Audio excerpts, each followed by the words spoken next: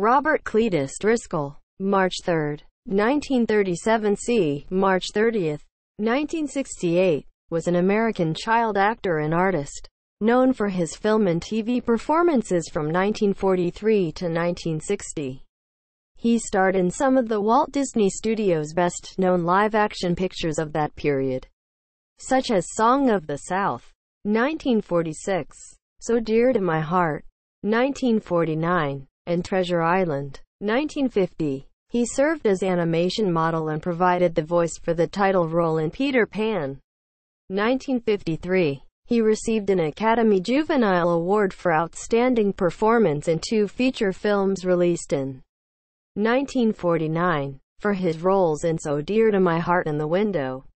In the mid-1950s, Driscoll's acting career began to decline, and he turned primarily to guest appearances on anthology TV series. He became addicted to narcotics and was sentenced to prison for illicit drug use. After his release, he focused his attention on the avant-garde art scene. In ill health due to his substance abuse, and with his funds depleted, his body was discovered on March 30, 1968, in an abandoned building in the East Village of Manhattan.